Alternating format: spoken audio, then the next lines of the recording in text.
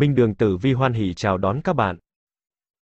Con đường công danh của người tuổi thìn có thể đạt được những bước tiến đáng mừng nhờ có sự trợ giúp của quan đới. Bạn có thể nhận được sự đánh giá cao của lãnh đạo, mở ra cơ hội thăng chức, tăng lương cho chính mình. Tháng này, bạn biết sắp xếp công việc một cách khoa học nên dù có bận rộn đến mấy, bạn cũng không rơi vào cảnh bối rối, không biết làm việc gì trước việc gì sau. Bạn thường có thể hoàn thành rất tốt công việc được giao nên cấp trên không ngại giao cho bạn những trọng trách để bạn khẳng định bản thân mình. Bạn có thể phải đối mặt giải quyết những lĩnh vực hoàn toàn mới mẻ hoặc phức tạp, khó khăn vẫn có thể ập đến bất cứ lúc nào, song bạn chớ nên đầu hàng. Hãy tin tưởng vào năng lực của mình và cố gắng tập trung, rồi dần dần bạn sẽ tìm được lối ra cho mình. Thái âm cát tinh là dấu hiệu cát lành cho bản mệnh, đặc biệt là với nữ giới. Bạn có thể gặp được quý nhân phù trợ cho công việc thêm phần thuận lợi. Những nhiệm vụ tưởng chừng bế tắc trước đây bỗng chốc tìm ra hướng giải quyết phù hợp. Tuy nhiên, dù mọi chuyện có thuận lợi đến mấy, bản mệnh cũng chớ nên lơ là tác hại của âm sát. Bạn có thể phải đối mặt với kẻ tiểu nhân bất cứ lúc nào, và đó là những kẻ ghen tị với thành công của bạn, tìm cách kéo thụt lùi sự phát triển của bạn. Trước lời ngon tiếng ngọt hoặc rủ dê lôi kéo của người không quá thân thiết, bạn cần hết sức tỉnh táo là đề phòng, chớ vội vàng nghe theo kẻo rơi vào bẫy. Tử vi tháng 6 năm 2021 tuổi thìn âm lịch về phương diện tài lộc. Xem tử vi tháng 6 năm 2021 tuổi thìn âm lịch tài lộc của người tuổi thìn phát triển khá ổn định nhờ có quan đới chiếu mệnh. Dù bạn là người làm trên lĩnh vực nào đi nữa, chỉ cần tập trung vào nhiệm vụ là có thể gặt hái được những thành quả xứng đáng. Đối với người làm công ăn lương, những thành tích đáng mừng của bạn trong sự nghiệp chính là nguyên nhân khiến lãnh đạo không ngần ngại thưởng nóng, thậm chí là tăng lương cho bạn. Hãy coi đây là động lực để tiếp tục cố gắng hơn nữa trong tương lai. Đối với người làm ăn kinh doanh, bạn có thể kiếm được một khoản tiền lợi lãi nhờ những mối đầu tư trước đó của mình.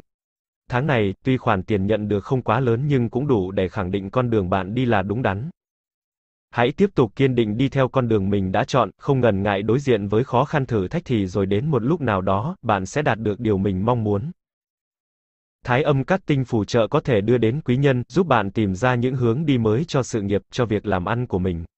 Hãy tranh thủ cơ hội học hỏi nhiều điều hay từ quý nhân và tìm lời giải đáp cho những khúc mắc trước đó của mình. Tuy nhiên, âm sát hung tinh cũng đem lại những tác động xấu nhất định. Bản mệnh dễ gặp tiểu nhân khiến việc làm ăn tưởng chừng thuận lợi bỗng gặp cản trở. Đồng thời, bản tính đa nghi, thỉnh thoảng trần trừ, do dự cũng có thể khiến bạn bỏ lỡ một vài cơ hội tốt. Tử vi tháng 6 năm 2021 tuổi thìn âm lịch về phương diện tình duyên. Nhờ có thái âm cát tinh nâng đỡ, người độc thân, đặc biệt là nữ mệnh sẽ có nhân duyên khá tốt. Bạn nhận được sự chú ý của nhiều người khác giới nhờ những biểu hiện xuất sắc của mình trong công việc. Vì vậy, nếu có thiện cảm với ai, bạn có thể chủ động kéo gần khoảng cách với người đó, hai người có triển vọng phát triển trong tương lai. Chuyện tình cảm vợ chồng vẫn khá u ảm, ảm đạm. Bạn và người ấy đang ngày một xa cách vì những bất đồng trong quan điểm sống. Cả hai đều không nên khăng khăng với ý kiến của mình. Hãy học cách đặt mình vào vị trí của người ấy và suy nghĩ cho người ấy, có thể bạn sẽ nhìn ra một hướng đi mới để khắc phục những bất đồng còn tồn tại. Ngoài ra, bản mệnh không nên giữ những bất mãn, khó chịu hoặc những mối nghi ngờ trong lòng. Hãy tâm sự và chia sẻ với người ấy để đôi bên cùng tìm ra cách giải quyết, hàn gắn quan hệ, để tình cảm vợ chồng lại hài hòa, ấm áp như xưa. Tử vi tháng 6 năm 2021 tuổi thìn âm lịch về phương diện sức khỏe. Tình hình sức khỏe của người tuổi thìn không gặp vấn đề gì đáng lo ngại trong khoảng thời gian này, nhờ vậy mà bạn có thể sẵn sàng bắt tay vào bất cứ công việc nào và cố gắng hết sức để gặt hái thành công. Tuy vậy, bản mệnh vẫn không nên coi thường những vấn đề về sức khỏe. Dù có trẻ tuổi bạn cũng không nên làm việc quá sức, sinh hoạt không điều độ, khiến cơ thể trở nên mệt mỏi. Hãy xây dựng cho mình một lối sống khoa học, ăn uống, nghỉ ngơi có giờ giấc, đồng thời chăm chỉ rèn luyện sức khỏe để tăng cường thể lực.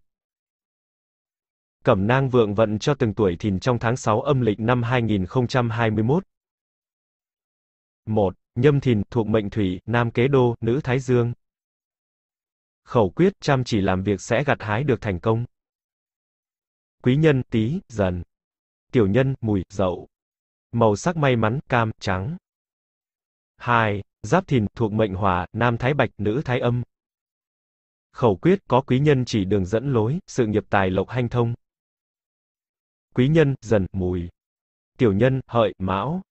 Màu sắc may mắn, tím, đen. 3. Bính Thìn, thuộc mệnh Thổ, nam La Hầu, nữ Kế Đô. Khẩu quyết, vợ chồng mâu thuẫn, nên đặt mình vào vị trí của người khác. Quý nhân, Dậu, Hợi. Tiểu nhân, Tý, Mùi. Màu sắc may mắn, vàng, hồng. 4. Mậu Thìn, thuộc mệnh Mộc, nam Kế Đô, nữ Thái Dương. Khẩu quyết, cẩn thận kẻ tiểu nhân, bạn bè xấu hãm hại, chớ tin người quá đáng. Quý nhân, Mão, Ngọ. Tiểu nhân, Mùi, Thân. Màu sắc may mắn, nâu, vàng. 5. Canh thìn, thuộc mệnh kim, nam thái bạch, nữ thái âm.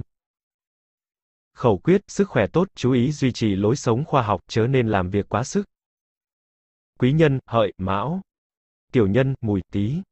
Màu sắc may mắn, hồng, đen. Cảm ơn các bạn đã theo dõi video. Xin chào và hẹn gặp lại.